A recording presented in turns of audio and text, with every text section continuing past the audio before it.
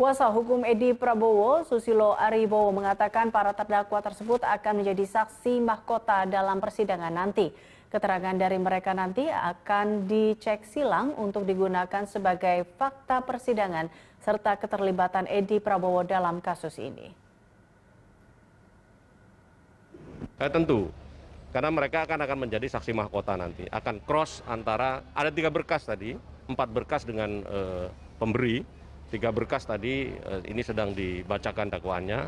Tentu masing-masing terdakwa dari berkas-berkas itu akan silang nanti akan kita eh, lakukan permintaan keterangan